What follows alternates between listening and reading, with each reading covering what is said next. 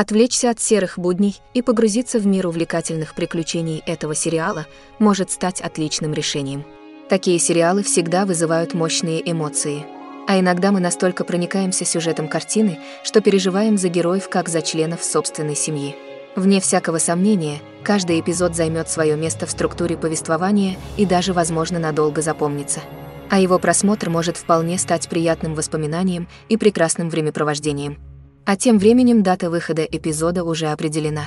Зрители смогут увидеть новую серию уже 21 ноября. Этот сериал завоевал внимание даже самого прихотливого зрителя. Что же ждет нас в новом эпизоде, остается интригой, которую так и не терпится поскорее узнать. Будем надеяться, что ничего не помешает сериалу выйти точно в срок в назначенное время.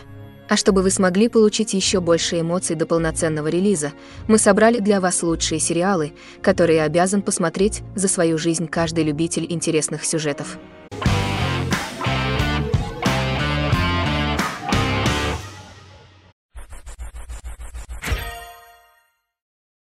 От опера Глеба Барнашова уходит любимая жена – он впадает в затяжную депрессию и начинает злоупотреблять алкоголем.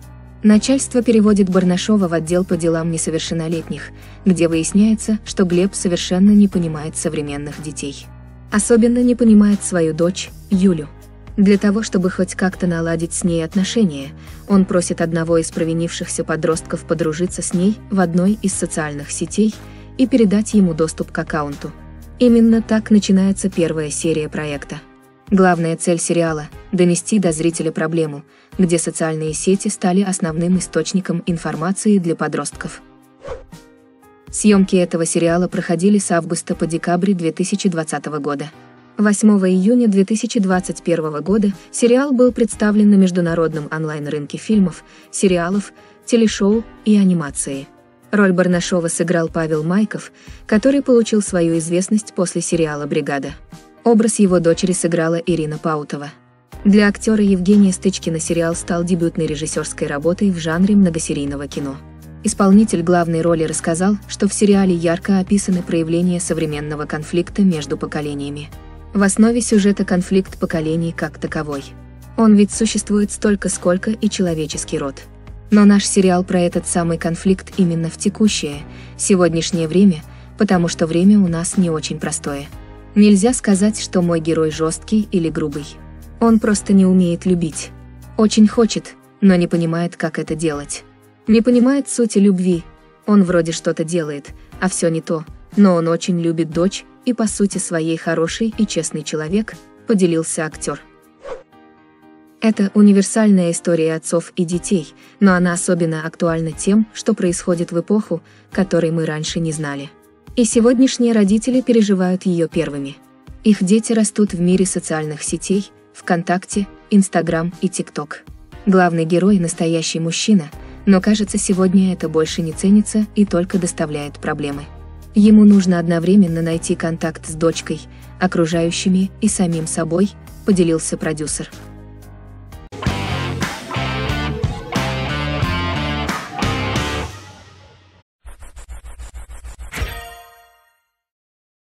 1956 году бывшие сотрудницы дешифровального отдела Анна, Соня, Ирина и Катерина рискуют благополучием своих семей. Спустя больше чем 10 лет после окончания Великой Отечественной войны они решают вновь объединиться в специальную группу, чтобы начать совместно проводить расследования и помогать следственным органам в раскрытии запутанных дел. Именно об этом повествует первая серия. Съемки первого сезона телесериала проходили с 3 сентября 2017 года по 28 февраля 2018 года в Москве, Подмосковье и Санкт-Петербурге. Владимир Утин поделился деталями проекта. Идея сериала была куплена у англичан, за основу мы взяли формат мини-сериала «Код убийства», но в нашем случае есть ряд изменений. Во-первых, у нас 16 эпизодов, а в оригинальной версии их 6. Во-вторых, конечно, английские женщины не имеют ничего общего с нашими в 50-е. Формально это адаптация, но по сути это самостоятельный фильм. Мы постарались воплотить в этом проекте сплав сразу двух жанров – захватывающего исторического детектива и глубокой драмы. Вместе с раскрытием детективного сюжета зритель наблюдает и за развитием сильных драматических личных историй каждой из четырех главных героинь.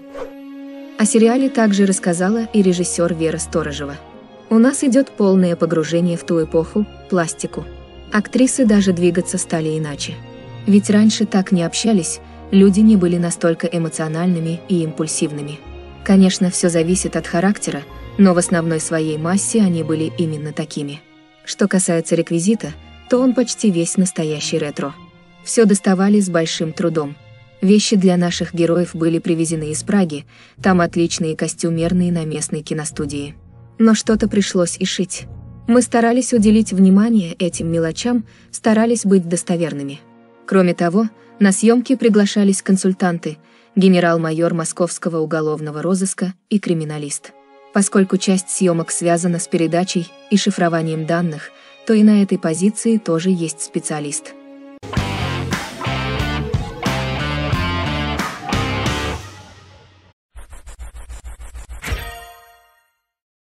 Они вернулись в свою страну после Афганистана, но страна стала совсем другой. Они рассчитывают только на себя. Они доверяют только друг другу.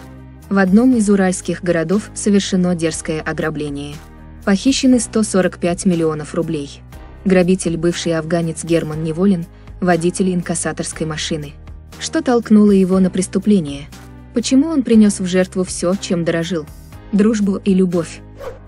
В дебютном эпизоде пять инкассаторов получают в кассе торгового центра большое количество наличных денег. Все инкассаторы – бывшие воины-афганцы. Среди них водитель фургона по имени Герман Неволин с говорящей кличкой «Немец» а также старшей группы Виктор Басунов. По дороге в банк немец грабит собственную инкассаторскую машину. После ограбления он успешно прячется за городом, прячет мешки с деньгами в лесу и направляется в деревню под названием Ненастье. Премьера первой серии состоялась 12 ноября 2018 года. В 2020 году сериал стал обладателем премии «Золотой орел» в номинации «Лучший телевизионный сериал свыше 10 серий». Драматический сериал снят по роману ненастии Алексея Иванова, автора проекта «Географ Глобус пропил». В основе сюжета лежит реальное событие, произошедшее в Перми в 2009 году. В этой социальной и психологической драме есть элементы брутального боевика и детектива о судьбе человека, прошедшего войну в Афганистане. Писатель Алексей Иванов рассказал о сериале.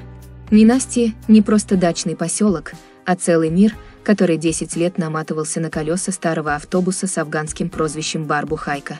Взгляд Сергея Урсулика, режиссера фильма, чутко уловил вечную русскую хтонь, экзистенциальную бездну национального существования.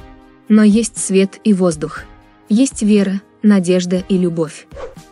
Осенью 2015 года стало известно, что канал «Россия-1» выкупил права на экранизацию романа. Роман, по которому знаменитый режиссер взялся снять сериал, стал одним из самых ярких явлений российской прозы. В 2016 году этот роман стал лауреатом премии «Большая книга».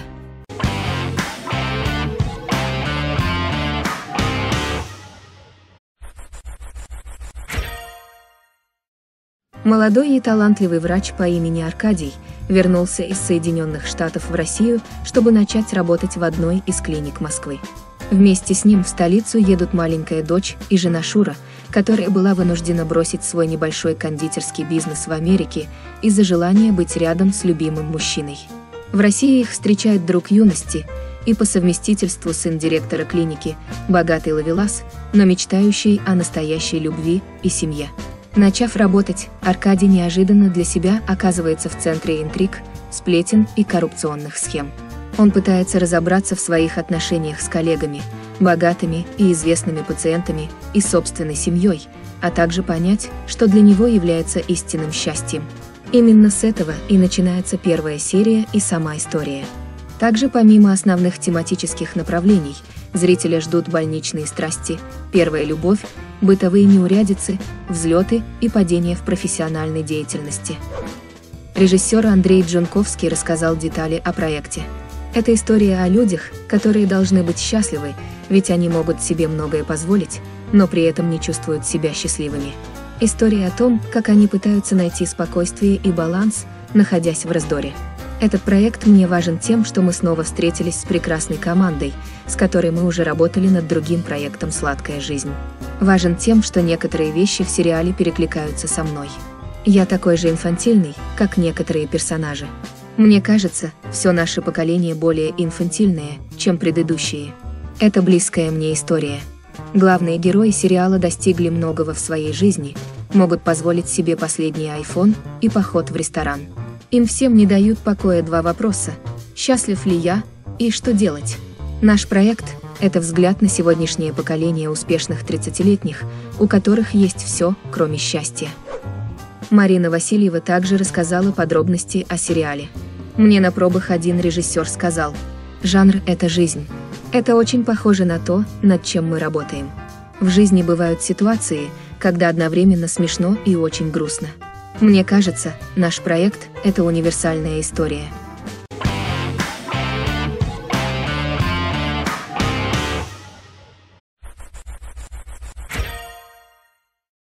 Главная героиня Ослы – врач, спасающая людей. А Ферхат, наоборот, тот, кто может отнять жизнь человека, даже глазом не моргнув. Их пути пересекаются, когда ослы насильно привозят в один загородный дом, чтобы она провела операцию раненому. Однако девушка случайно становится свидетельницей убийства и теперь сама должна умереть. Но у Ферхата не поднимается рука убить ее, поэтому он предоставляет ослы шанс. В первой серии Ферхат узнает, что у человека, которого он любит как родного отца, украли ноутбук. Если информацию, которая находится на ноутбуке, распространят, то это положит конец его политической карьере. Он проиграет выборы на пост мэра, к которым готовился на протяжении многих лет. Ослы вынуждают оперировать раненого человека. Она думает, что спасет человека и сможет спокойно уйти из поместья. Однако планы пойдут совсем не так, как она ожидала. С того дня жизни Ферхата и ослы пойдут в совершенно другом направлении. Интересные факты – Бирджа Акала, исполнившая главную роль, в 2004 году заняла третье место на конкурсе красоты «Мисс Турция». Персонаж Ибрагима на протяжении всего сериала носит одежду только черного цвета. В одной сцене главная героиня смотрит телевизор, где идет голливудский фильм «Мой парень псих», в котором снялись Дженнифер Лоуренс и Брэдли Купер. Премьера сериала состоялась 16 октября 2017 года. В 2019 году вышла украинская адаптация под названием «На твоей стороне». Режиссером сериала выступил Ясин Услу, известный по таким проектам, как «Наша история», «Любовь на крыльях птицы». Сценарий написали Элем Джан Палат. Его работы «Империя лжи», «Изумрудный феникс», «Дочь посла». А также написанием сценария занималась и Сема Эргеникон. Главную роль сыграла турецкая актриса Бирджа Акалай, получившая известность благодаря проектам «Вавилон» «Иногда жизнь прекрасна», «Сумасшедший лесник». Также за работу в проекте была удостоена нескольких национальных наград в номинации «Лучшая актриса».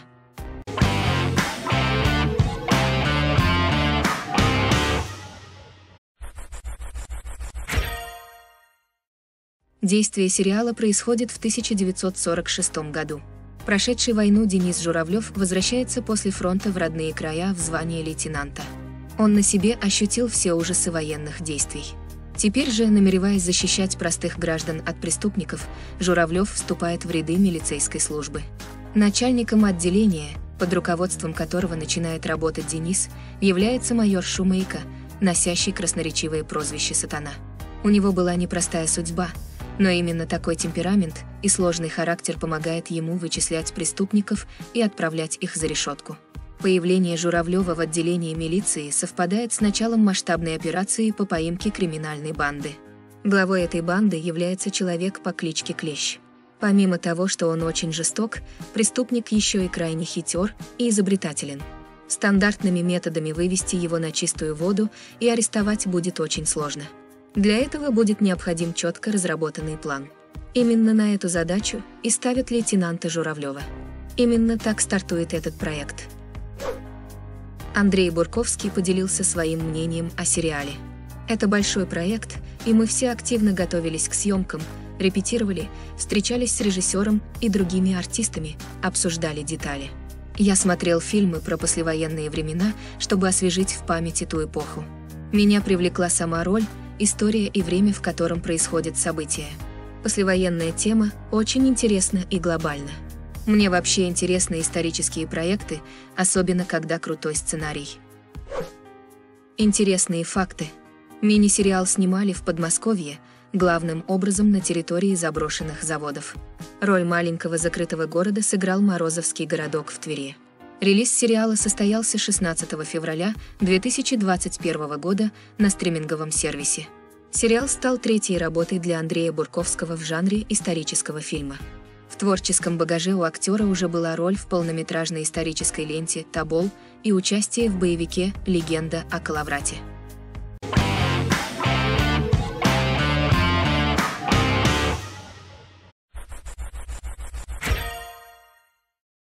В дебютной серии рассказывается история про трех лучших подруг – Шуру, Юлю и Аню.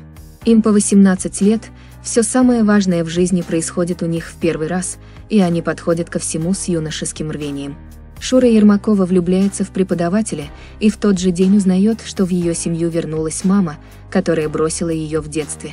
Юля никак не может разорвать отношения со своим парнем-полицейским, который ей постоянно изменяет. А Аня, используя связи своего папы-продюсера, раз в неделю придумывает себе новую карьеру. Сериал рассказывает о многом. О дружбе, о взрослении, о любви, о влюбленности, о поиске себя, о разнице между мудрыми детьми и потребителями взрослыми. О предательстве, о прощении и, наконец, о вечной и нерешаемой проблеме отцов и детей и жизненных ситуациях, которые требуют трудных решений. Слишком много важных и сложных тем для восьми серий. Сериал несет зрителю очень правильную мысль. Нельзя растрачивать себя на пустые отношения, а если нашел свою любовь, нужно держаться за нее изо всех сил. На примере Шуры становится ясно, как легко спутать любовь с детской влюбленностью. Создатель телесериала Алексей Чупов рассказал подробности о проекте. Продюсеры придумали название «Кризис нежного возраста», что в принципе отражает сюжет. Это о волнениях, переживаниях девочек, которые переходят во взрослую жизнь. Они только начали жить взрослой жизнью, но еще не стали взрослыми до конца. Это про весну жизни. Весна со всеми вытекающими последствиями. Мы не упрощаем проблемы, которые появляются, когда ты оторвался от родителей и входишь во взрослую жизнь. Мы не пытаемся одеть розовые очки на героинь или зрителя, чтобы показать, что все прекрасно. Мы показываем, что даже когда у тебя происходят какие-то неприятности, это не повод страдать. Мы говорим о том, что на самом деле все равно ты остаешься молодым человеком, у которого все впереди. Ты можешь радоваться, смеяться и веселиться. Отсутствие розовых очков – это главное отличие в том, как мы смотрим на своих героинь.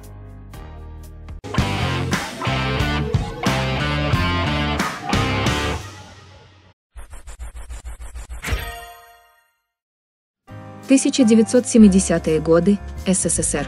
Главная героиня, 16-летняя Соня, живущая как большая часть советской молодежи, с верой в идеалы и светлое будущее. Но внезапно она сталкивается с темной стороной жизни. Она влюбляется в молодого человека по имени Сергей, который знакомит ее с другим законом. Не советским, а воровским. Воровской закон заставляет Сергея предать их с Соней любовь. Этот закон отнимает у Сони отца, губит мать, брата. Сама Соня чудом остается жива. Она спаслась, но теперь ею движет неукротимое желание истребить этот проклятый воровской закон. И начинает она с Сергея. Первой серии, во время празднования своего дня рождения, на даче погиб директор одной из местных фабрик, Литвинов Павел Петрович. Он отказал людям криминального авторитета немца поднять процент уплаты налога в общак. Через год семья Литвиновых оказывается в бедственном положении, и мать начинает выпивать. Младшая дочь Соня оканчивает школу и мечтает поступить в театральный институт. Чтобы отметить годовщину смерти отца, старший сын Игорь пытается продать фирменный продукт и попадает в КПЗ. Там он знакомится с Сергеем. Когда Соня встречает Игоря, ее видит Сергей. Он очарован девушкой. У них начинается роман. Действие многосерийной криминальной ретродрамы разворачивается в 1970-е годы в СССР. Сам телесериал создан на 8 серий, сценарий к которому написали Валентин Емельянов и Илья Рубинштейн. За режиссуру сериала отвечал Станислав Титаренко, известный телезрителям по проекту «Счастье мое». Главную роль в сериале сыграла актриса Соня Метелица, для которой съемки в этом проекте стали первой столь масштабной работой. Режиссер Станислав Титаренко описал этот сериал так. Криминальная драма с динамично развивающимся сюжетом, от которого будет невозможно оторваться. Но фильм не про месть, а про любовь. А ретро 70-х годов. А динамика сериала и музыкальное сопровождение очень современные.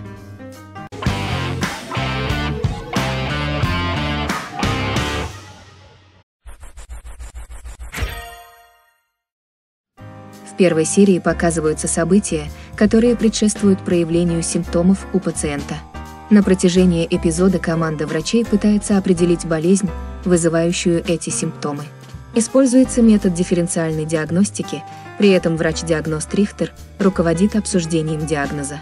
Его интересуют только самые сложные и запутанные случаи, проще говоря, медицинские головоломки. Рутинная работа в больничной поликлинике навевает на него скуку и раздражает. Рихтер избегает разговоров с пациентами, поскольку твердо уверен, что они лгут. В прошлом Рихтер перенес сложную травму на бедре, инфаркт четырехглавой мышцы. И теперь он ходит, опираясь на трость, и пьет сильные обезболивающие. Рихтер самоуверен, заносчив, резок и циничен, не обременяет себя соблюдением правил хорошего тона и временами кажется, что сочувствие и сострадание ему чуждо. Строить личные и профессиональные отношения он не умеет и, кажется, не хочет. Люди, находящиеся рядом с ним, становятся объектами насмешек и провокаций, за которыми бывает непросто рассмотреть искреннюю заботу. За создание российского «Доктор Хауса» взялся телеканал «Россия-1». Главную роль эксцентричного врача в русской версии сыграет Алексей Серебряков. Режиссер Андрей Прошкин рассказал детали о сериале. Рихтер – циничный, замкнутый и одинокий с сардоническим чувством юмора, как и доктор Хаус. Но, на мой взгляд, он не лишен сострадания. Для него сострадание выражается через действие, а не через общение или похлопывание по плечу. Мы старались сделать персонажей не пустой калькой, а достоверными для нашей действительности. Герои должны оставаться живыми, чтобы за ними было интересно наблюдать. Поэтому какие-то вещи мы оставляем как в оригинале, но меняем детали и интонацию. Первоначально предполагалось, что премьера четвертого сезона сериала выйдет в свет осенью 2020 года. В дальнейшем, однако, было объявлено о переносе сначала на февраль, а потом на октябрь 2021 года.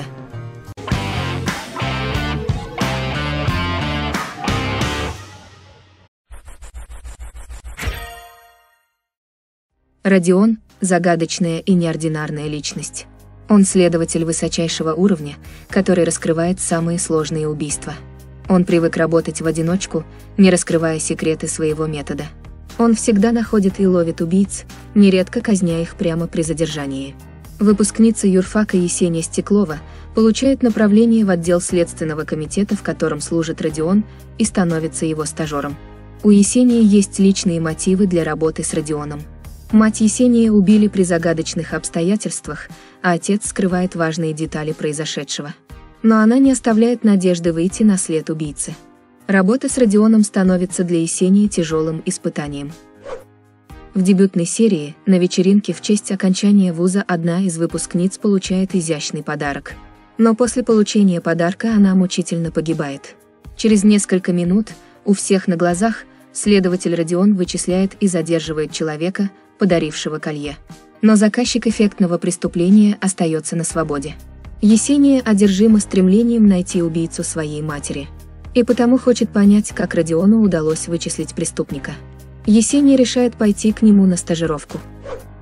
Главную роль Родиона исполнил известный актер Константин Хабенский. Продюсировали сериал Александр Цикало и Константин Эрнст. Цикало сыграл одну из ролей в 16-серийном фильме, как и режиссер картины Юрий Быков. В интервью Константин Эрнст рассказал детали о проекте. «Мы даже не называем эту вещь сериалом, поскольку она построена на блестящем сценарии, такой же режиссуре и феноменальной актерской игре всех без исключения участников этого проекта. Думаю, это будет главным событием. Он не будет выходить стандартно после программы «Время», как это традиционно проходит у нас с премьерами многосерийных фильмах. Съемки 16-серийного психологического триллера продлились с июля по декабрь 2014 года и проходили в Нижнем Новгороде. Режиссером сериала стал Юрий Быков, постановщик картин «Майор», «Жить» и сериала «Инкассаторы». На вопрос журналистов о том, почему он взялся за съемки этого проекта, Быков ответил. «Меня как режиссера подкупило одно – мы ставим Константина Хабенского и девочку, которая должна в хорошем смысле перетащить на себя актерское одеяло. Есть любовная история, есть противостояние личностей разного пола, разного возраста. Для меня это режиссерский вызов –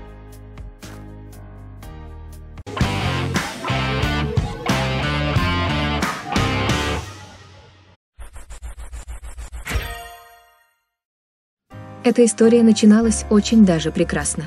Света вместе со своим возлюбленным гуляла на вечеринке, организованной однокурсницей в честь выпуска. Света и ее парень решили выйти на балкон. В порыве страсти девушка не удержалась и упала с третьего этажа на асфальт. Молодая девушка Света оказалась в инвалидном кресле. Но врачи дали ей надежду на выздоровление. Но чтобы вновь встать с коляски, девушке нужна дорогостоящая операция так что Свете нужно собрать достаточно большую сумму денег. На парня надеяться Светлана больше не может. Он сбежал, как только узнал, что его возлюбленная прикована к инвалидному креслу. Денег у девушки нет вообще, как и работы. Но рядом осталась верная подружка Ирка, которая работает парикмахером и снимает со Светой двушку, оказывая Свете огромную моральную поддержку.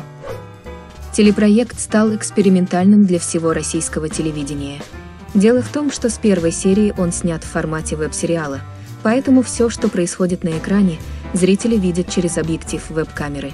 Это первый пример подобного формата съемок телепроектов в России. Работа над сериалом началась в 2015 году. Съемки первого сезона телесериала продлились 30 дней. На знаменитом сайте Кинопоиск рейтинг этого сериала составляет чуть больше 6 баллов из 10. Комедия, при всей легкости внешнего восприятия, остается одним из самых сложных жанров кино. Эксперимент многие считали отчаянным, но в итоге он вышел невероятно удачным. Сценарий хорошо продуман. Это настоящая сатира современной жизни, которая совсем не требует серьезного отношения. В роли Светы в 16-серийном комедийном телефильме снялась Мария Машкова. Ее подругу Ирку сыграла Анна Котова, а Павла – Кирилл Каганович. Молодого человека, которому Света неровно дышит, сыграл Александр Ратников. Постоянных клиентов Светозары, вдову олигарха Ксению и одинокого странного мужчину Цыпина сыграли Евгения Дмитриева и Борис Комарзин соответственно.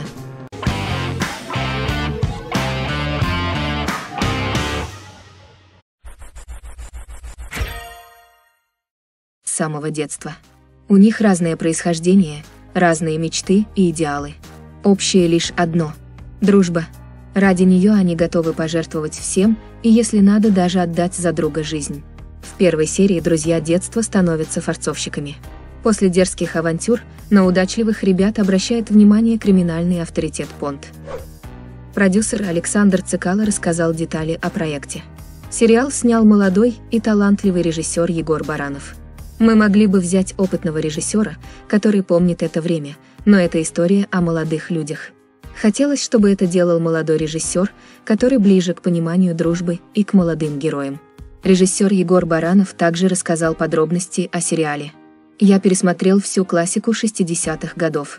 Естественно, есть отсылки к кино, к июльскому дождю, я шагаю по Москве, 9 дней одного года. Был классный период в кинематографе, где герои живут в кадре и дышат свободным гражданским воздухом.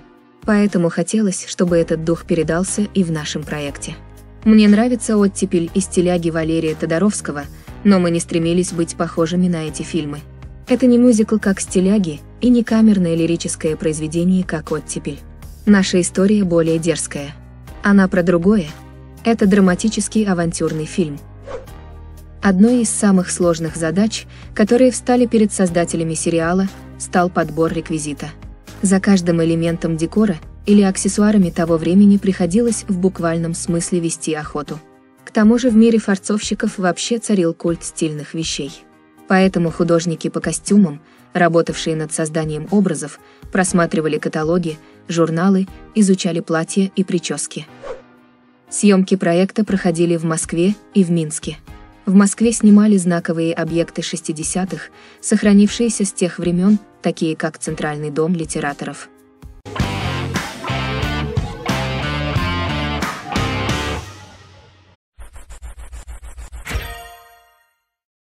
Главная героиня сериала – Марина. Успешная, красивая 39-летняя женщина. Она владеет отличным цветочным магазином, замужем за врачом-хирургом, имеет двух прекрасных детей – и даже беременна третьим. Казалось бы, здесь ни к чему не придраться. Но первая серия дарит своим зрителям невероятный поворот сюжета. На самом же деле, цветочный магазин – это только прикрытие. Настоящая профессия обычной женщины Марины – сутенерша с очень необычным специфическим бизнесом – а ее подруга помогает ей искать девушек-рабынь. Так в бордель попадает юная прекрасная блондинка, которую главная героиня выставляет на аукцион. Однажды одну из работниц сутенерши внезапно находят без сознания в гостинице, после чего Марина пытается уничтожить все следы. По словам создателей сериала, в сценарии этого проекта угадываются мотивы рейтинговых зарубежных телефильмов. Например, «Косяки», «Во все тяжкие» и «Бесстыдники», но только перенесенные в современные российские реалии. При этом в сериале сочетаются мощные женские персонажи, исключительная игра актеров и потрясающая операторская работа. Борис Хлебников рассказал подробности о данном российском детективном телесериале. У нас действительно замечательный и увлекательный сценарий, в котором переплетены детектив, драма и немного юмора. Но мне как режиссеру было очень интересно рассказать о тех важных процессах, которые происходят сейчас в семье. О том, как меняется роль женщины, как она становится главной. Актриса Анна Михалкова высказала свое мнение о работе над проектом режиссера Бориса Хлебникова. Такая роль – это огромный подарок любому актеру. Я получаю огромное удовольствие от общения с Борисом, он дает возможность всей группе почувствовать себя соавторами. И я думаю, что ему интересно работать над этим проектом в первую очередь как над большим произведением, в которое можно многое вложить. У Бориса Хлебникова есть свой почерк, и он всегда прослеживается как в его фильмах, так и в сериалах. Зрители очень высоко оценили данный сериал. На знаменитом сайте Кинопоиск рейтинг этого сериала составляет почти что 8 баллов из 10.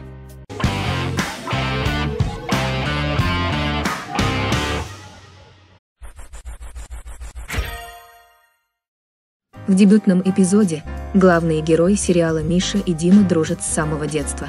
Когда они стали взрослыми, они стали заниматься общим бизнесом, руководя мебельным магазином. В итоге они построили свое жилье, практически одинаковые во всем особняки, по соседству и без забора между участками. А когда обзавелись семьями, то стали дружить домами. Супруги Миши и Димы тоже очень быстро нашли общий язык. Между этими людьми, казалось, царила такая идиллия, которую разрушить просто невозможно никому и никогда. Но внезапно их дружба заканчивается бесповоротно. Из-за вскрывшейся тайны обе семьи стали злейшими врагами друг для друга. Актер Егор Бероев рассказал о сериале. «Мой герой Дима – до предела увлекающийся человек, он очень старается соответствовать той дороге, которую выбрал. Я думаю, его развод с женой – это частая ошибка в жизни многих людей» когда супруги думают, что разлюбили друг друга и нужно искать других. Но это просто такой этап в семейной жизни, после которого опять вдруг может случиться взрыв и эмоции. Режиссер сериала также поделился в интервью своим мнением. Съемки проекта открывают для меня особую возможность создать что-то новое и свежее в знакомом формате. Это забавная история про настоящую мужскую дружбу в очень оригинальном конфликтном сюжете. Актерский состав прекрасный честь и удовольствие работать вместе. Семейные комедии – это жанры, в которых мы преуспели. Над проектом работают авторы и продюсеры семейного хита Ивановы-Ивановы. Так что я не сомневаюсь, что все будет сделано очень качественно, смешно и трогательно. Словом, так как мы умеем, рассказал генеральный продюсер Виталий Шляпа. Этот сериал – первый проект канала ТНТ, который был создан вместе с продюсерами другого проекта «Супер». Одним из них стал режиссер Клим Шипенко, постановщик комедии «Холоп», собравший самую большую кассу за всю историю отечественного кинопроката. Работа над многосерийным телефильмом велась в районе Калужского шоссе в 35 километрах от столицы. Место для съемок было выбрано живописное и очень тихое. По словам группы, единственное, с чем немного не повезло, это с погодными условиями. Съемки велись начиная с июля по октябрь и сцены, в которых должно было быть знойное лето, выпали на холод. Актеры ходили в шортах, стояли якобы под грибным дождем, когда их поливали из шланга, и прыгали в бассейн при температуре, которая вовсе к этому не располагала.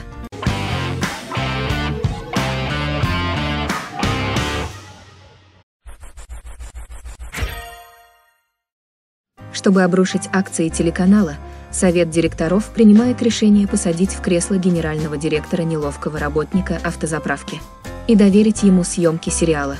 В короткие сроки горе-начальнику удается создать хаос в эфире и установить свои порядки в медиабизнесе. Но неожиданно сериал, который по плану должен был стать величайшим провалом, начинает иметь грандиозный успех. В первом эпизоде создатели телеканала Олег Терехин, Андрей Симонов и Семен Вельман решают снизить рейтинги канала для того, чтобы выкупить долю инвесторов. Именно для этого они договариваются пригласить нового генерального директора, который будет создавать отвратительные шоу и сериалы. В итоге Симонов находит подходящего на эту должность человека из народа, когда приезжает на автозаправку. Автор сериала Илья Куликов известен по таким проектам, как «Полицейский с Рублевки», «Проклятие спящих». В сериале с оригинальным названием Илья Куликов выступил не только в качестве режиссера, но и как сценарист и продюсер проекта. Сам сериал создатели называют злой комедией. Главную роль в многосерийном телефильме сыграл Сергей Бурунов. Практически со всеми актерами, приглашенными в проект, его создатель Илья Куликов работал ранее. Для исполнения небольшой роли также появился телеведущий Дмитрий Шепелев. О данном проекте, откровенной истории о телевидении и о том, что скрыто от глаз зрителя, было объявлено в апреле 2018 года. Съемки сериала стартовали в ноябре того же года. Сергей Бурунов рассказал подробности о сериале. То, что сегодня, бывает творится на телеэкранах, периодически сильно меня как зрителя расстраивает. Словно две непересекающиеся вселенные. Новые отличные сериалы, даже можно сказать многосерийные фильмы, которые выходят в интернете. И тележвачки некоторых каналов. Мы с режиссером Куликовым взяли на себя задачу сделать и показать сериал об идеальном сериале. Такая вот иголка смерти для пошлости на ТВ, в яйце юмора.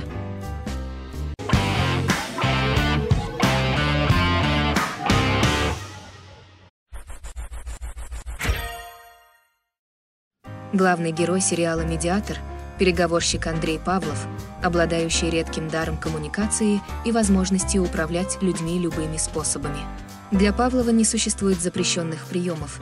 Он готов соблазнять, обманывать, переходить все границы ради достижения своей цели. Он тот человек, который приходит к врагам и в считанные секунды устанавливает с ними контакт. Но основной его доход идет от крупного бизнеса. Он помогает там, где люди не могут договориться. И делает это за очень большие деньги. Для каждого случая он меняется до неузнаваемости. А невероятную способность к перевоплощению он развил в детстве. Именно это помогало ему строить непростые отношения с матерью. К тому же он настолько хорошо чувствует людей, что давно не верит никому. Даже себе. Новая задача Павлова – это убедить наследников знаменитого академика продать долю в компании. Но помощь переговорщика нужна не только крупному бизнесу. Актриса Дарья Мороз сыграла в сериале девушку Веру со сломанной судьбой и истерической натурой. Ее персонаж росла с деспотичным отцом, в результате чего переняла у него позицию манипулятора. Во всех несчастьях она винит других и свято верит в свою беззащитность.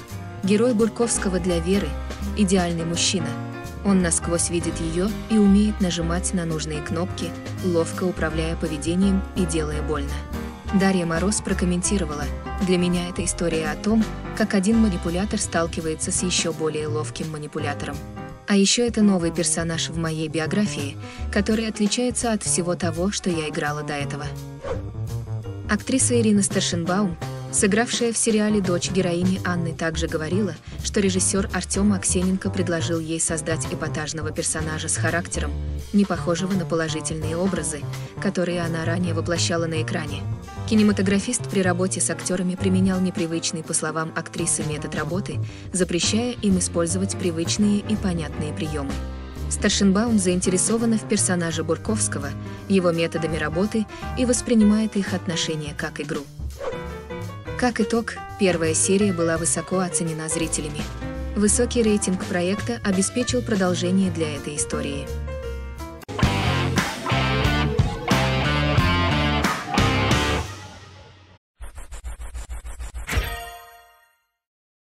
Первом эпизоде проекта американского шпиона засылают в «Газпром» и ставят перед ним сумасшедшую задачу – стать русским. На обучение шпиона тратят полтора миллиона долларов.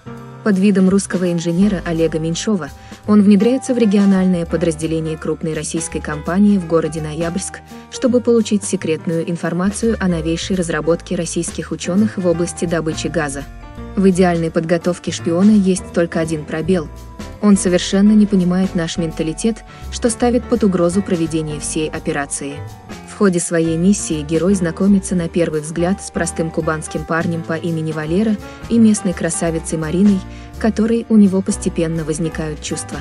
Американскому шпиону придется разрываться между дружбой, любовью и своей миссией. И с каждым днем выбор будет становиться все сложнее. Исполнитель главной роли Леонид Бичевин рассказал подробности о проекте. Этот сериал надо смотреть всем. Просто потому, что у нас получился классный сериал – мне кажется, наш проект это и есть настоящая ситуационная комедия, когда показывается, как главный герой вырывается из всех возможных передряг. С одной стороны, мы шутим и показываем шпионские игры. А с другой – наша история про любовь, дружбу, предательство, долг. Через взаимоотношения главного героя можно глубже понять какие-то вещи о самих себе. Актриса Евгения Брик высказала мысли о своей героине. Мне было интересно играть эмоции – которые я не применяю в жизни. Режиссер разрешал мне использовать любую реакцию, и это здорово. Для меня роль Марины – актерский вызов. В сценарии очень четко были определены характеры. Мы, конечно, добавили своего, но изначально все было гениально прописано. Сразу складывается определенный образ и узнавание. После долгих проб ко мне пришло понимание, что Марина – это Дженнифер Лопес местного разлива, но при этом вместо уверенности она может быть абсолютно потерянной.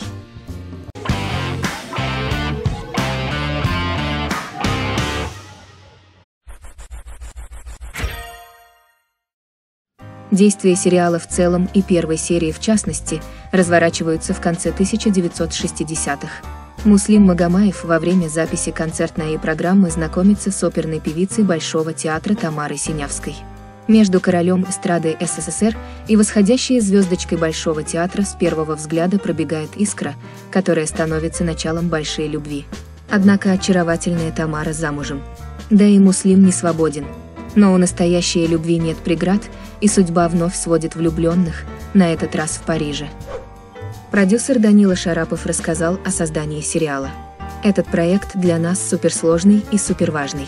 Мы занимались им пять лет, сценарий писали четыре года вместе с вдовой Муслима Магомаева, Тамарой Синявской. Во время производства случилось все, что могло было случиться. Люди ломали ноги, караваны сталкивались друг с другом. Режиссер Дмитрий Тюрин также поделился деталями – для нас было важно, чтобы получилась романтическая музыкальная сказка, потому что это история о любви, а любовь – сказочные чувства. Хочется, чтобы зритель сопереживал, ведь история их любви очень непростая. Съемки проекта стартовали в начале октября 2018 года, о чем сообщил продюсер проекта Данила Шарапов у себя на странице в Facebook. Вдова Муслима Магомаева, Тамара Синявская – при создании сериала о своем супруге выступила в качестве консультанта. Работа над проектом проходила в Баку, Зеленограде и Москве. Так, ДК Зеленограда выступила в роли Горьковского музыкального театра, а префектура Зеленограда – в роли обкома Горьковской области. Несколько сотен актеров, которые отличаются харизмой и талантом, проходили кастинг на главную роль в проекте о легендарном певце. Кандидаты были не только из России, но и из других стран СНГ. Однако последнее слово было именно за вдовой Магомаева, которая выбрала Милоша Биковича. Несмотря на то, что многим казалось странным, что Магомаева будет играть серб по национальности.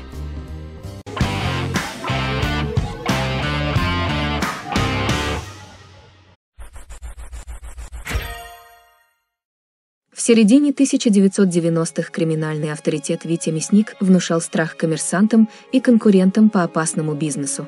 Но сейчас Виктор завязал с криминалом и держит экоферму, где ухаживает за любимым быком по кличке Братан. Неожиданно к нему обращается авторитет Артур, один из бывших сообщников Виктора. Обращается он с просьбой передержать на банковском счете Вите воровской общак. Виктор соглашается, но в день возврата, После падения на голову подковы, висевшей на воротах фермы, он забывает пароль от счета. Комедия повествует об удивительном путешествии бандита, которое он совершает во времени. О жизни провинциальных российских городов в наши дни, а также о настоящей любви, преданности и верной дружбе. Сам сериал изначально готовился к выходу под названием «Полярный 17». Однако накануне премьеры его анонсировали под другим названием, которое и известно всем зрителям. «Полярный». Главные роли сыграли Михаил Пореченков, Екатерина Шпица и Иван Охлобыстин. А место съемок сериала – город Кировск Мурманской области. Исполнитель главной роли Михаил Пореченков высказал свое мнение о сериале. Все, кто работал над этим проектом, очень старались и на самом деле вложили в проект душу. Производство сериала заняло целых пять лет. Мы писали и переписывали сценарий, переснимали какие-то сцены, снова и снова отправлялись в длительные киноэкспедиции в Мурманскую область. Поэтому уверенность все-таки была и поддерживалась в нас серьезной работой. Пусть не на 100%, но на 90% мы точно верили, что сериал понравится зрителю. Съемки сериала были полностью завершены к осени 2018 года. Первая серия была представлена 25 октября 2018 года в Московском кинотеатре «Октябрь». По словам создателей многосерийного фильма, сериал завоевал большую популярность среди самой широкой аудитории, его смотрели как молодые телезрители, так и те, кто не просто слышал о 90-х, но и жил в них.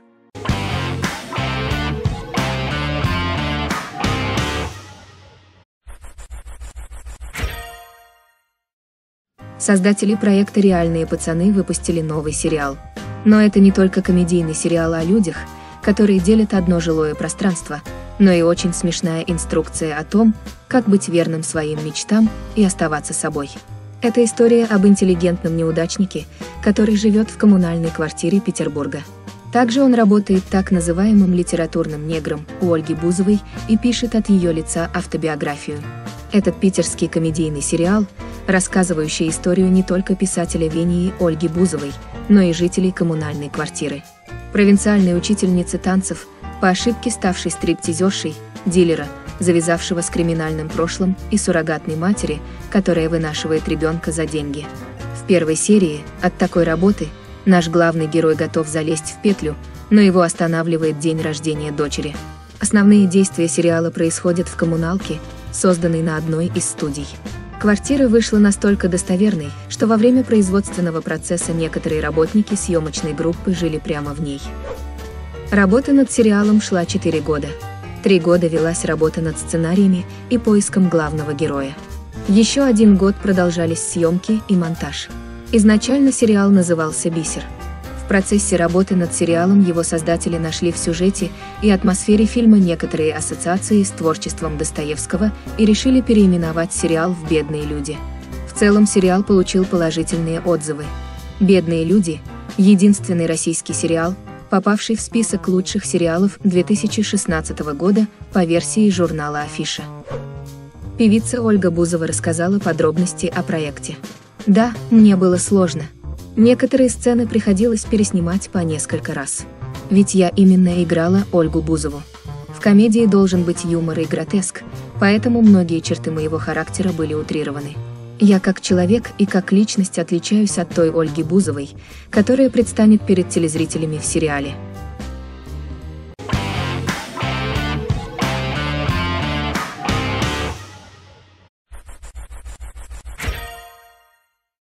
Главный герой сериала Толя никак не может выбрать между любовницей и женой, с которой у них много лет не получается родить ребенка.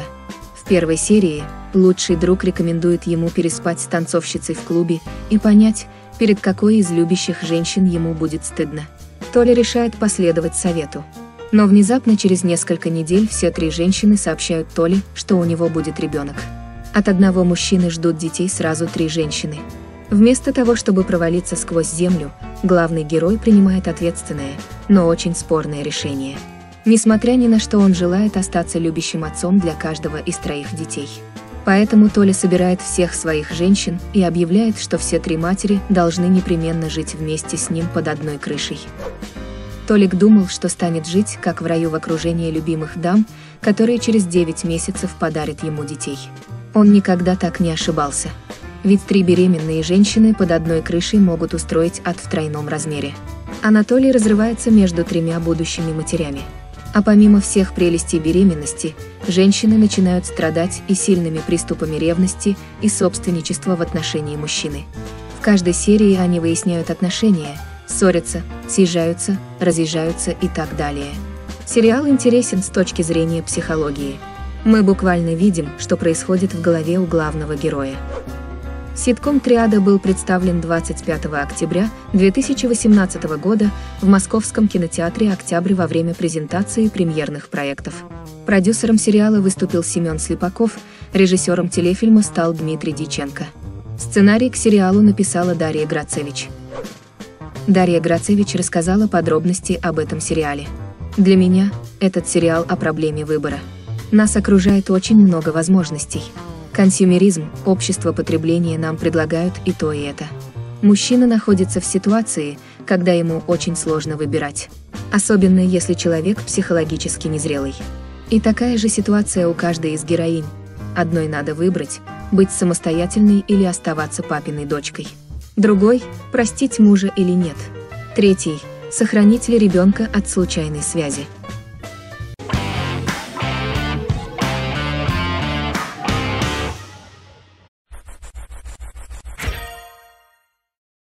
Основная часть событий знаменитого сериала происходит в студенческом общежитии. Также в сериале регулярно показывается кафе, аудитории вуза, особняк на Рублевке, кабинет с видом на Московский Кремль, ресторан и клуб. Сюжет первой серии строится на том, что персонаж Саша сбежал из университета в Лондоне, где изучал финансы, и поступил на астрономическое отделение физического факультета одного из московских вузов. Сильвестр Андреевич, его отец, хочет вернуть своего сына к прежней жизни, но тот желает жить в народе и хочет всего в жизни добиться сам. Нежному мажору предстоит жить в одном блоке с вечно колотящим по груши каратистом Кузей, общажным ловеласом с именем Гоша, отличницей Таней и блондинкой Аллой, начинающей свой день с чашки растворимого кофе. Параллельно с этим с героями сериала приключается много забавных и смешных ситуаций. Их пятеро – все они разные и у каждого есть свои особенности в характере. Они живут в соседних комнатах, у них общая кухня, туалет и ванная. У них больше нет выбора, кроме как искренне полюбить друг друга, чем они периодически и занимаются. Им очень весело, они дружные и глупые. Сериал максимально приближен к реальной жизненной обстановке. Актеры неплохо справляются со своими ролями. Сюжет у сериала очень простой и немного неправдоподобный, но учитывая, что это комедийный сериал, то сюжет не так уж и важен. Со временем проект стал развиваться, появились новые персонажи. Главные роли исполнили Андрей Гайдульян, Виталий Гагунский, Мария Кожевникова, Валентина Рубцова, Арарат Кищан и другие. Сценарий был написан Вячеславом Дусмухаметовым, известный по таким работам, как «Папины дочки» и «Шесть кадров» а также Семеном Слепаковым, известный по таким работам как КВН, Comedy Club, Наша Раша и Прожектор Пэрис Хилтон. Премьера первой серии состоялась в далеком 2008 году, и сериал моментально завоевал любовь у зрителей. Создатели не стали останавливаться на первом сезоне и выпустили еще несколько. В 2021 году сериал реанимировали. Теперь его новое название – «Универ 10 лет спустя».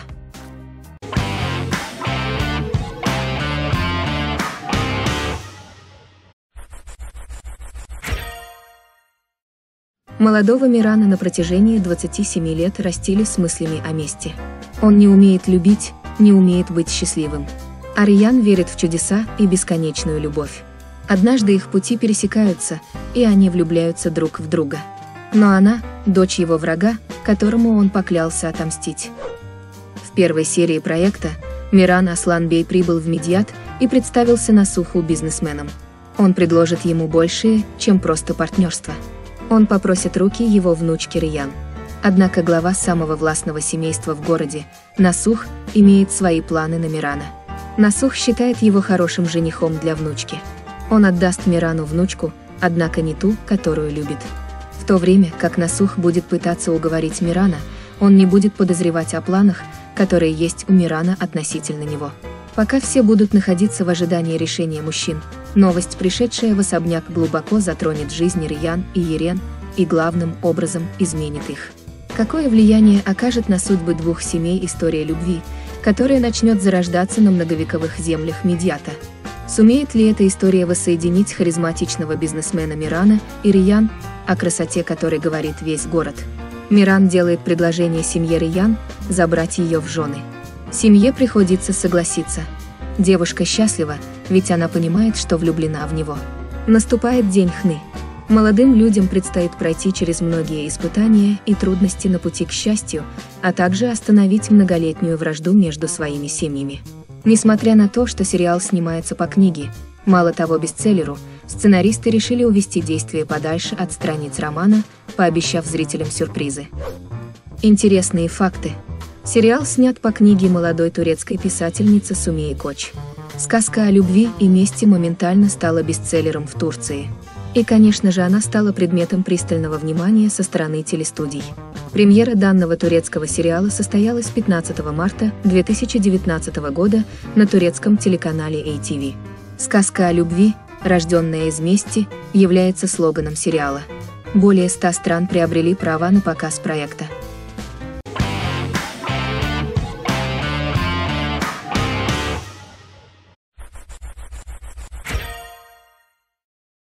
Нихан – дочь солидного бизнесмена, который оказался на грани банкротства.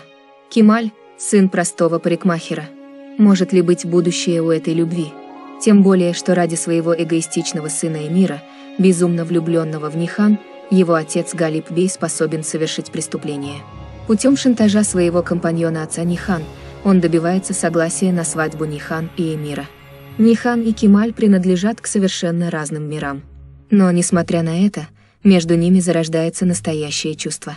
Как сохранить любовь и веру в себя и друг в друга, невзирая на преграды, трудности и сложившиеся обстоятельства. Это история о парне и девушке, не имеющих ничего общего. Ведь они происходят из разных слоев общества, имеют непохожий круг общения. Однако это не мешает возникнуть любви в сердцах главных героев. Их первая встреча в первой серии была случайной, но изменила жизни обоих. Однако богатство и бедность, в которых живут главные герои, слишком далеки друг от друга. Против союза влюбленных выступают их родители и друзья. Однако никакие препятствия не способны разрушить искренние чувства главных героев. В ее жизни есть таинственный мужчина, который обладает властью над Нихан. Он упивается собственным могуществом и не намерен его лишаться. Обманом и подлостью он разлучает главных героев. Ее сердце продолжает стремиться к Кемалю. Несмотря на расстояние, препятствия и трагедии на жизненном пути, главные герои продолжают искренне любить друг друга. Им суждено пронести это чувство через многие годы и многочисленные испытания. Интересные факты. Премьера первого сезона состоялась 14 октября 2015 года. В России мыльная опера впервые была показана в августе 2018 года на канале «Русский бестселлер». С 16 ноября 2020 года проект был показан на телеканале «Романтичные». Именно там он транслировался в новой озвучке, где приняли участие известные актеры дубляжа. На первоначальном этапе производства режиссерское кресло занимал Волкан Коджатюрк, позже его заменила Хилаль Сарл, которая ранее сняла проекты «Без вины виноватая», «Соколиный холм» и «Не могу сказать прощай». Съемки проходили в столице Турции, Стамбуле. Сцена с аварией на шахте была снята в городе Зангулдак. В 2017 году сериал был удостоен премии Эмми в номинации «Лучшая зарубежная теленовелла». «Черная любовь» является одним из самых популярных турецких проектов во всем мире, а права на его трансляцию приобрели более 60 стран. Главную роль в телесериале сыграла Неслихана Тагуль, которая получила широкую известность благодаря фильму «Чистилище».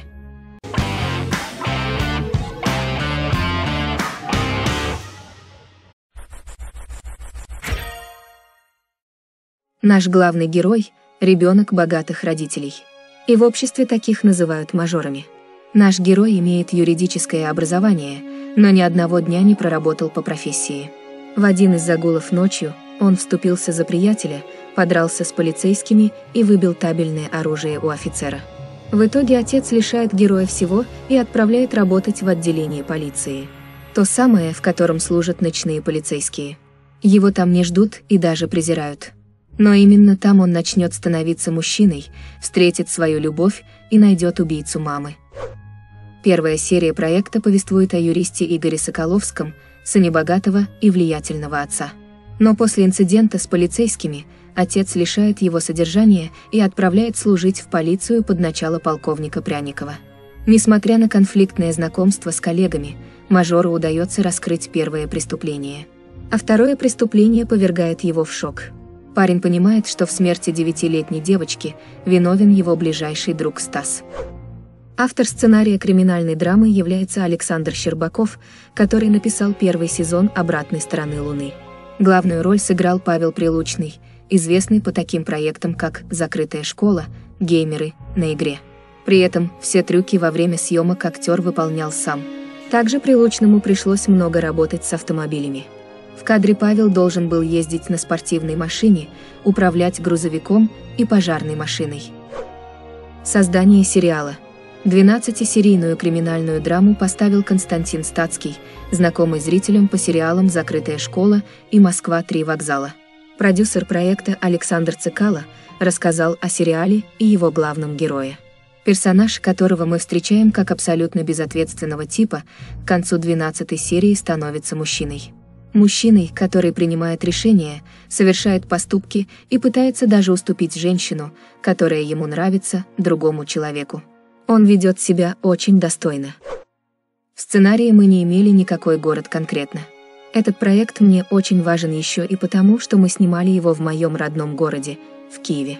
Очень надеемся, если зритель оценит наш фильм, то мы сможем там же работать над продолжением проекта. Рассказывает продюсер Александр Цикало.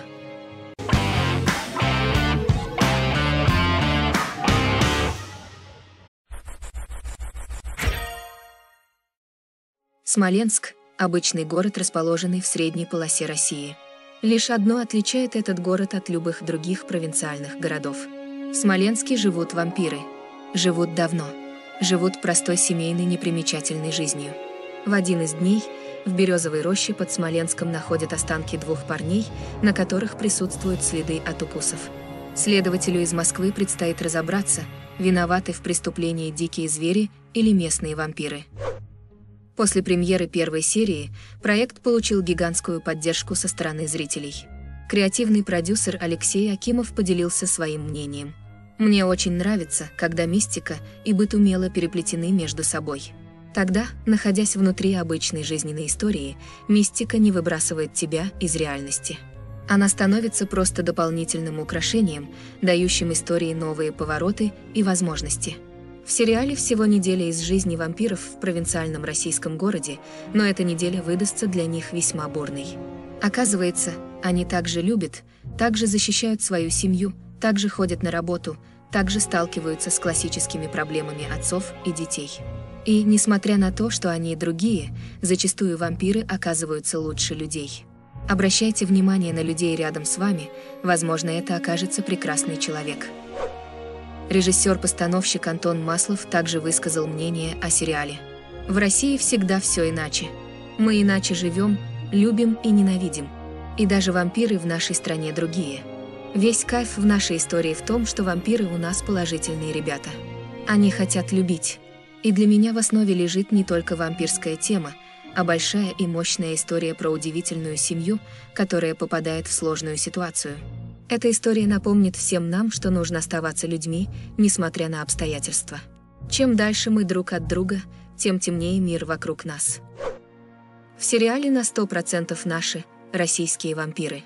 С нашей ментальностью, радостями и проблемами. Они не классические герои Дракулы, которые боятся чеснока и носят красивые наряды. Они пьют кровь из пластиковых полторашек и граненых стаканов. Выбор Смоленска не случайен, ведь у города большая история. Его брали немцы, французы и старались даже татары. У нас будет много исторических флешбеков, пояснил Антон Маслов,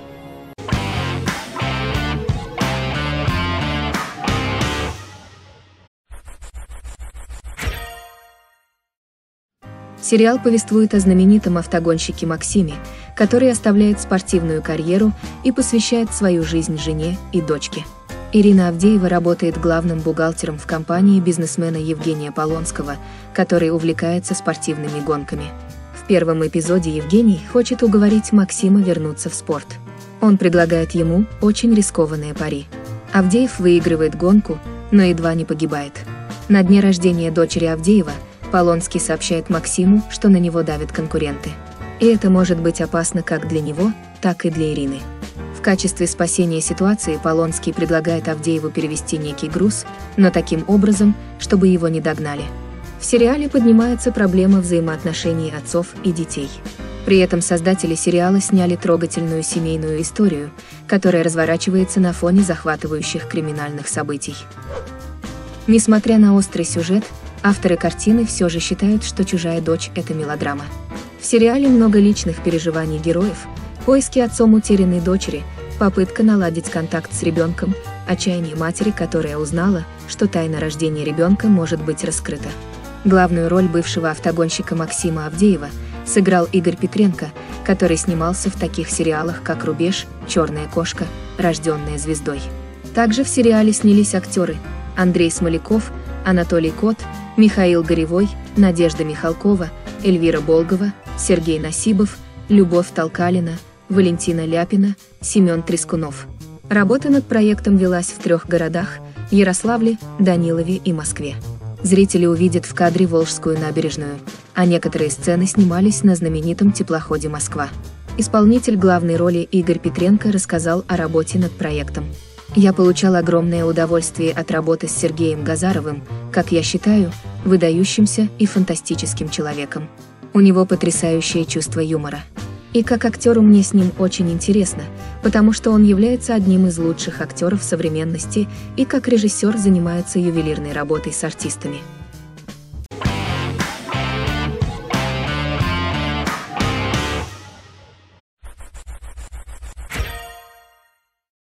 Хаят родилась в небольшом провинциальном городке. Вместе с двумя своими подругами она переезжает в столицу. Другой главный герой по имени Мурат – красавец и богатый наследник. Их первая встреча была наполнена ненавистью, однако через некоторое время между ними вспыхнуло настоящее чувство. Молодые люди отчаянно полюбили друг друга. Но смогут ли они пронести свою любовь через многочисленные трудности и испытания? Премьера турецкого романтического сериала с элементами комедии состоялась 15 июня 2016 года. В главных ролях – Бурак Денис в роли Мурата Сарсылмаза и Ханде Эрчил в роли Хейта Узуна. Действие происходит в Стамбуле и следует роману на рабочем месте в многонациональной модной компании «Сарти». Сериал транслировался более чем в 30 странах мира и собрал миллионы просмотров на YouTube. Хаят Узун – уроженка деревни Гересун и дочь рыбака. В первых сериях проекта она вынуждена искать работу в Стамбуле, иначе ей придется вернуться к своей семье в деревню. Если это случится, то ее строгий консервативный отец заставит вступить ее в брак по расчету. В настоящее время она живет со своими лучшими подругами, а их мать навещает их. В случае ошибочной идентификации она получает работу в международной текстильной компании Сарти в качестве личного помощника Мурата Сарсылмаза, главы этой самой компании. Мурата тянет к Хаят. Это вызывает зависть у бывшей девушки Мурата, Дидьем, ведущей модели компании. Дидим вызывает недоразумения, которые заставляют Мурата оттолкнуть Хаят, но затем он преследует ее и приносит извинения. В конечном итоге Дидим была уволена за ее заговоры. Личный шофер и лучший друг Мурата, Керим влюбляется в Ипек, и позже она отвечает на его авансы. Мурат приводит Хаят к себе домой, чтобы оправиться от панической атаки, вызванной Дидимом. Они сблизились на выходных, но затем прибывает Дидим, утверждая, что беременна. Мурат рассердился, но принимает на себя обязанность жениться на Дидеме ради ребенка. Обе семьи встречаются и решают свою свадьбу. Мурат разъясняет им, что брак – это всего лишь формальность, чтобы узаконить ребенка. Мачеха Мурата, Деря, также узнает правду и помогает Дидему инсценировать выкидыш до того, как ее правда будет раскрыта, что освобождает Мурата от предполагаемой ответственности.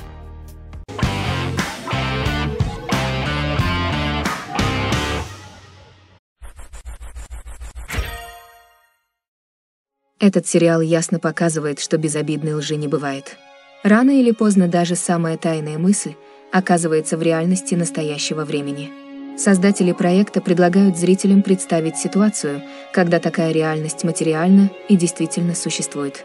И самые безжалостные фантазии в ней воплощаются. Это история о человеке, для которого слились воедино власть, вседозволенность и безнаказанность. Действие фильма происходит в петербургской школе. Одна из учительниц выпрыгивает из школьных окон у учеников на глазах. Капитану с именем Игорь предстоит провести расследование, чтобы выяснить причины этого поступка. И для этого он знакомится с лидером класса, который в свою очередь расскажет капитану правила игры под названием «Спарта». Это история о том, как можно легко манипулировать еще не окрепшим сознанием детей. До чего может довести безнаказанность, деньги, связи, ложь. Подростки как губка, которая все это впитывает и проецирует в жизнь. Ведь ни для кого не секрет, что дети могут быть очень жестокими.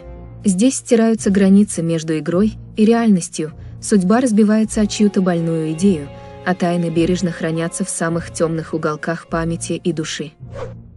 Главные роли исполнили Артем Ткаченко и Александр Петров. Сериал получил две премии «Золотой орел» в категориях «Лучшая мужская роль на телевидении» и «Лучший телефильм». А в 2019 году права на сериал приобрел сервис Netflix. Александр Петров, исполнитель роли Михаила Барковского, рассказал подробности о проекте. Название сериала – это название компьютерной игры, на которой держится сюжет и завязка истории. Съемки были очень трудные. Во главе стояла история про компьютерную игру, про вымышленный мир, который люди придумали и создали, и насколько он опасен для нашего мозга и нашего сознания. Мозг воспринимает это как реальность. Эта тема настолько актуальная и на самом деле страшная. С появлением виртуальной реальности управлять сознанием людей, особенно молодых, становится крайне просто. Я с большим удовольствием буду смотреть этот сериал, чтобы себе же ответить на некоторые вопросы.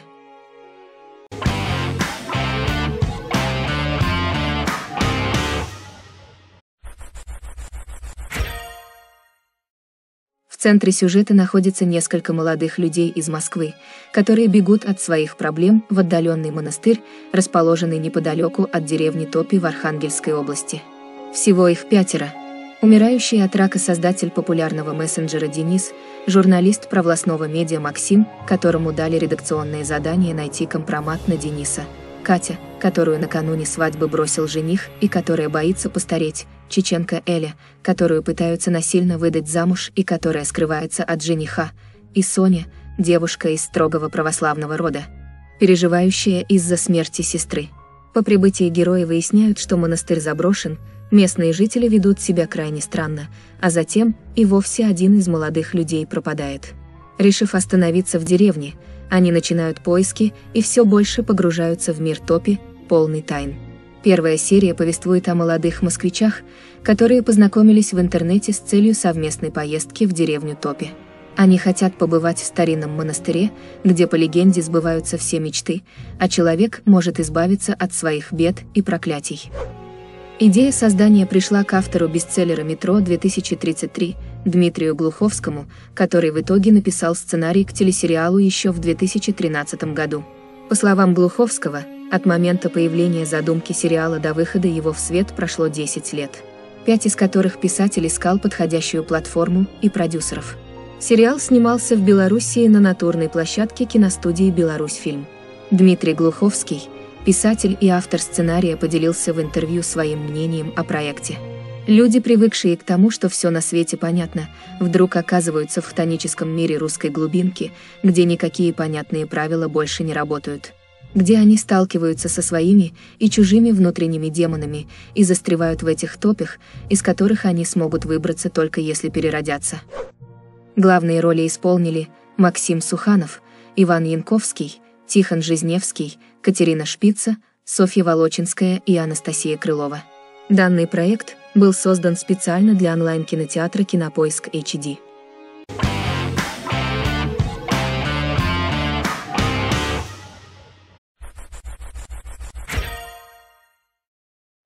Эта история начиналась очень даже прекрасно.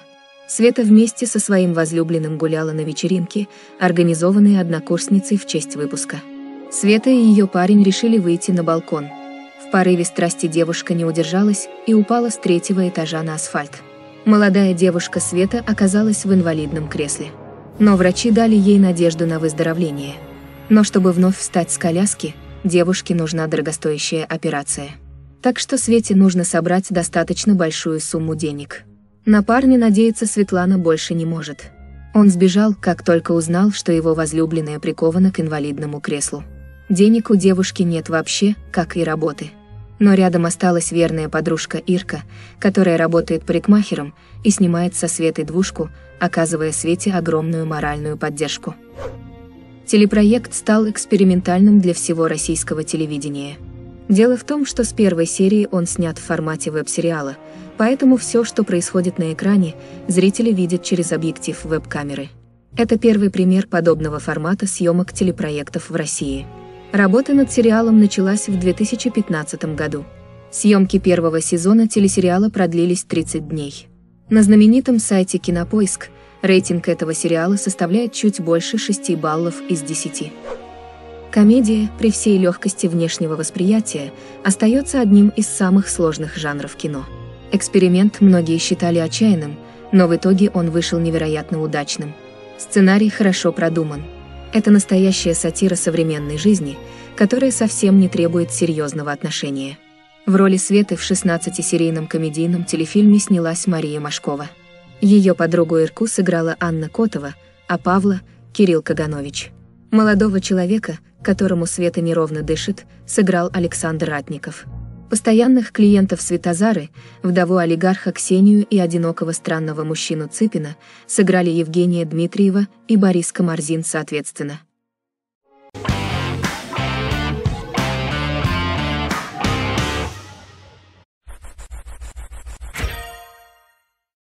Первая серия этого сериала началась крайне интригующе. В то время как большинство психологов нянчатся с клиентами, по полгода выслушивая жалобы на их жизнь, главный герой Артём намеренно выталкивает своих пациентов из зоны комфорта. Артём – стрелецкий психолог, профессиональный провокатор, практикующий шоковый метод психотерапии. Работа психолога успешно процветает до тех пор, пока один из клиентов не накладывает на себя руки. Суд приговаривает Артёма к восьми годам лишения свободы. Выйдя из тюрьмы по условно-досрочному освобождению через 4 года, Стрелецкий возобновляет работу с пациентами и пытается самостоятельно раскрыть дело, по которому оказался в тюрьме. Однако бывшая жена Артема Даша обрела счастье с другим мужчиной и не желает его видеть. Но Артем не верит в их любовную идиллию. Продюсер Александр Цикало рассказал подробности о сериале. Про психологов уже снято много сериалов, но настолько пронзительного еще не было. Наш герой живет на грани, спасти всех, разрушая себя. Самым сложным для такого проекта, как этот, было написать очень честный сценарий. На эту задачу у автора идеи и креативного продюсера, а также сценариста, ушло более полутора лет. Еще до выхода сериала в эфир Первого канала, во время канской презентации проекта весной 2018 года, представители кинобизнеса из Японии и США приобрели права на адаптацию телефильма – Создатели сериала не выдумали провокативную психологию, которой занимается главный герой. В действительности такой метод есть в реальной жизни, и он иногда практикуется в психологии. Идея снять этот проект возникла именно благодаря тому, что продюсер Александра Ремезова познакомилась в свое время с психологом, который применяет провокации как метод в профессиональной деятельности. Интересные факты – Идея для сериала появилась благодаря знакомству продюсера проекта с психологом по имени Сергей Насибян, сторонником провокативного метода, применяющим этот инструмент в своей профессиональной деятельности. Представители кинобизнеса из Японии и США приобрели право на адаптацию сериала в своих странах.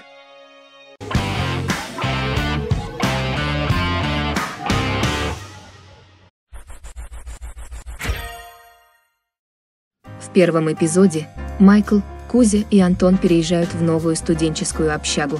Их селят в блок к девушкам Кристине, Яне и Маше. Кузя сразу же положил глаз на Машу. Майкл пытается вспомнить, где он познакомился с Яной. А Антон сделал непристойное предложение Кристине, за что и поплатился. В этом ситкоме зрители увидят как некоторых уже знакомых персонажей, так и новичков. Старое общежитие, в котором жили уже полюбившиеся герои сериала «Универ», идет под снос. Пятикурсники Антон и Кузя, оставшиеся на второй год, переезжают в новый блок. В качестве аспиранта возвращается в университет Майкл. Соседками ребят в новом блоке оказываются новенькие девушки Кристина, Маша и Яна. Кузя – студент филологического факультета. Он спортсмен, а также выступает с песнями собственного сочинения. Простой, недалекий парень, добрый и бесхитростный. С первых серий проекта влюблен в новенькую девушку Машу, но пассия не отвечает Кузе взаимностью. Другой герой, Майкл учился на историческом факультете, пошел в аспирантуру, чтобы избежать призыва в армию. Он бабник и на данный момент одинок.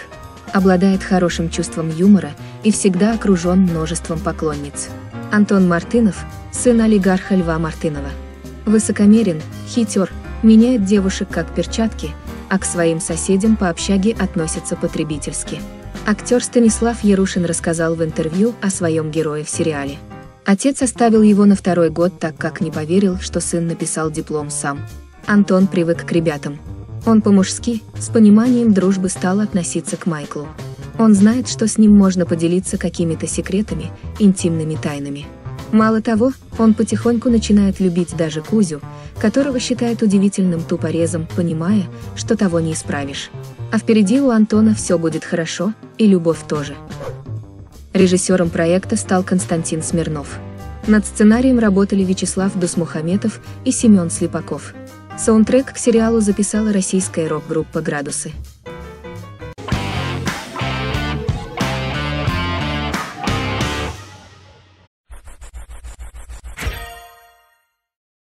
В первой серии сериала спецназовец Александр Кучин после службы в армии вернулся в родной город.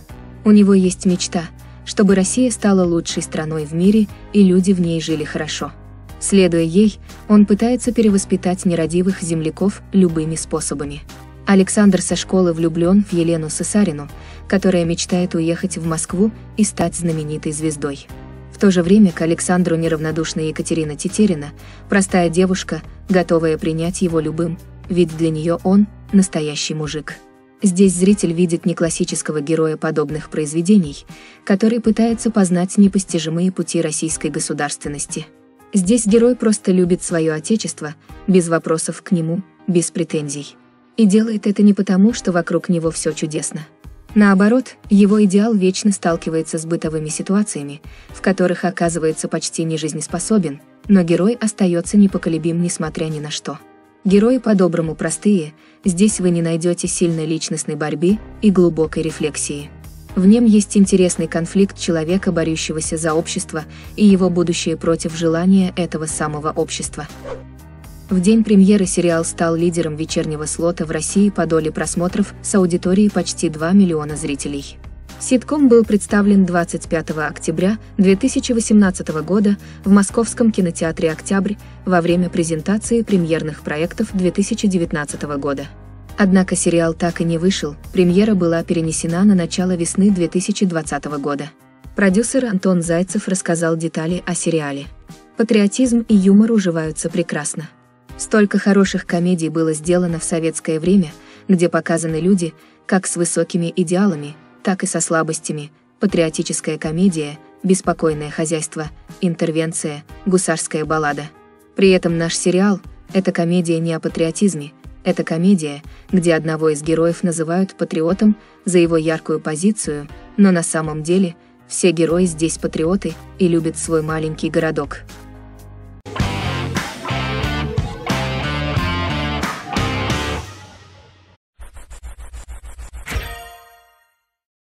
Они не знали друг друга до того дня, пока в одном клубе их не отравили неизвестным ядом. И теперь тем из них, кто не умер на месте, предстоит выполнить несколько заданий загадочного кукловода. Он единственный в мире имеет антидот.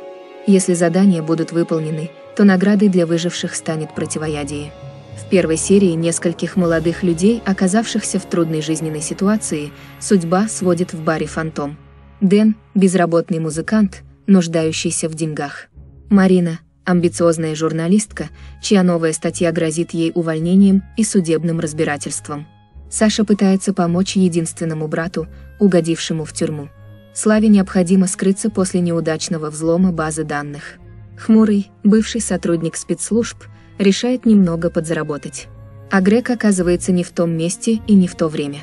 Как только клуб заполняется посетителями, происходит нечто странное. В борьбе за свои жизни они должны будут получить ответы на главные вопросы, кто организовал смертельный квест и почему для его прохождения были отобраны именно они. «Пройти, чтобы выжить» является слоганом сериала. А премьера состоялась 26 октября 2015 года. Съемки сериала стартовали 24 апреля 2014 года в Риге. Режиссера Андрея Загидулина создатели пригласили на проект, увидев в интернете его короткометражный фильм «Наблюдатель». Ему устроили череду проверок, он делал наброски кадров сериала, снимал тизер, доказывал, что умеет работать с группой, а также прошел процесс согласования своей кандидатуры с телеканалом СТС. И только после этого с ним был подписан договор – Специально для сериала несколько художников вручную сделали часть артефактов, медную шкатулку с секретом, металлический шар, шифровальную машинку, шприц. В процессе съемок было задействовано более 150 локаций в столице Латвии и ее окрестностях. Длинные волосы у героя Павла Прилучного были выбраны для того, чтобы подчеркнуть творческую профессию его героя Дэна. Согласно сюжету, он музыкант и диджей. Латышских актеров в сериале озвучил известный переводчик эпохи видеокассет Андрей Гаврилов. Сам сериал был впервые анонсирован в 2013 году.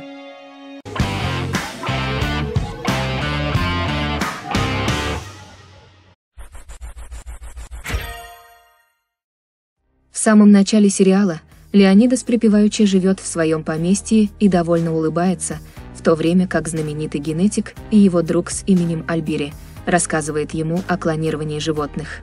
Леонидас имеет двух сыновей. Близнецы Диогу и Лукас встречаются с одной и той же девушкой, незаметно для нее подменяя друг друга. Мать Жади умирает, оставляя дочь одну. На смертном одре мать посылает дочь к ее дяде в Марокко. Леонидас, Лукас и Диогу приезжают в Марокко. Диогу замечает экстравагантную женщину, и их взгляды пересекаются. Затем они договариваются о свидании. В аэропорту города Фес Жади встречают ее двоюродная сестра Латифа и тетка Зурайде. Затем они теряют Жади на рынке. Лукас с удивлением слушает рассказ брата о проведенной ночи с незнакомкой из гостиницы. Леонидас рассказывает сыновьям, что собирается жениться и вот-вот познакомит их со своей избранницей. Вскоре Жади находится и едет с женщинами знакомиться со своим дядей Али.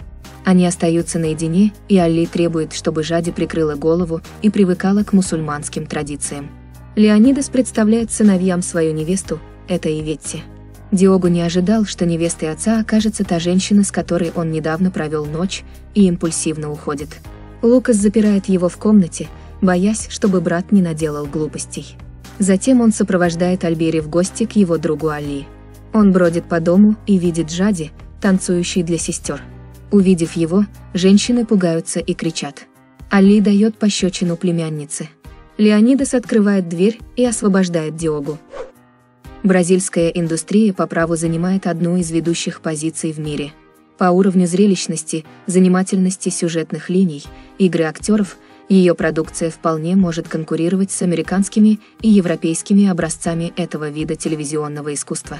Атипичные для Латинской Америки эмоциональность, многословность и сентиментальность только добавляют пряную экзотическую ноту в этот коктейль.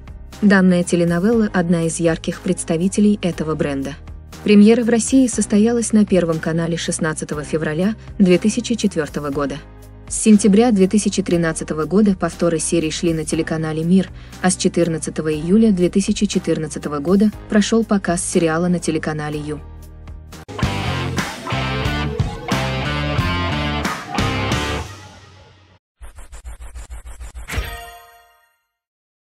Санем – девушка веселая и жизнерадостная.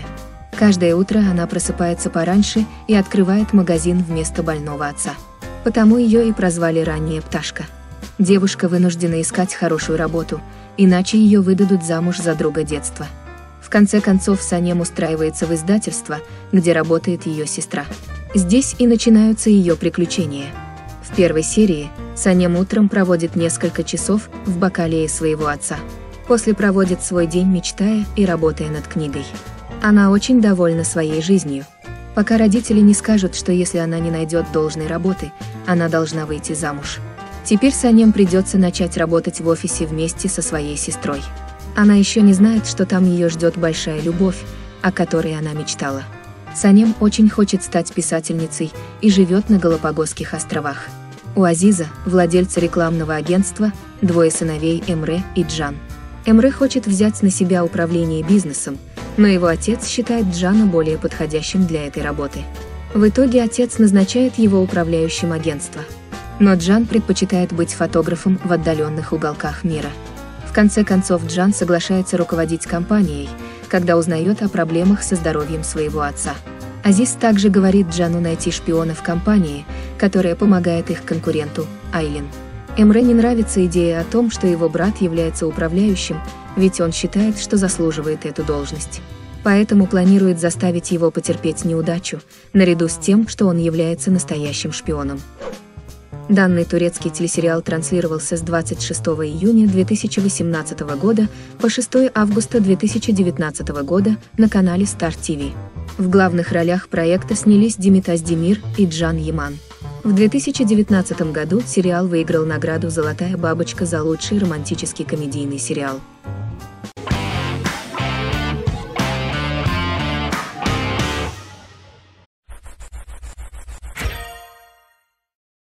В московской трехкомнатной квартире живет молодая семья. Костя, его жена Вера и их дети, пятилетняя дочка и два двухгодовалых сына-близнеца. И все было бы в их жизни прекрасно, если бы не родители Кости, которые живут рядом с ними на одной лестничной площадке. Сколько раз Вера не пыталась повлиять на мужа, чтобы он попросил своих родственников перестать быть такими назойливыми, но все безрезультатно. Разрешить эту проблему Костя не в силах – Конфликты и проблемы, с которыми пытаются справиться герои сериала, жизненны и очень типичны для любой семьи. Решение этих проблем, конечно же, развивается по законам ситкома, но и эти законы имеют свои границы. Первая серия проекта начинается с того, что в семье Ворониных-старших к ссоре может привести все, что угодно. Как итог, мама Кости пришла жить к сыну, а его жена Вера ушла в квартиру родителей. Георгий Дронов высказал мнение о своем персонаже. «Мой герой Костя абсолютно среднестатистический парень. У него есть цель, работа, семья, но и непреодолимые жизненные препятствия в виде его родственников, которые создают огромное количество проблем. Все конфликты решаются через него. Он хочет, чтобы всем было хорошо. Пытается сделать лучше для всех, начинает забываться, путаться, и в результате получается глупость. Но несмотря на это, он постоянно окружен любовью своей семьи, и это важно. Станислав Дужников также рассказал о своем персонаже. «Мой герой Леня, прямолинейный, всегда недовольный, уставший, стеснительный, хотя ему уже около сорока. Он разведен и пытается наладить личную жизнь. Но это получается у него со скрипом. Он даже поцеловаться со своей подругой нормально не может. По сути, он человек, который до сих пор не освободился от каких-то детских ужимок и комплексов и ведет себя как мальчишка 12-13 лет. А Екатерина Волкова о своей героине сказала следующее. Вера – очень мудрая женщина. С одной стороны, она мягкая с детьми и мужем Костиком, который иногда ведет себя как ребенок. А с другой стороны, она умеет быть жесткой, потому что она – единственная, кто может расставить все точки над «и».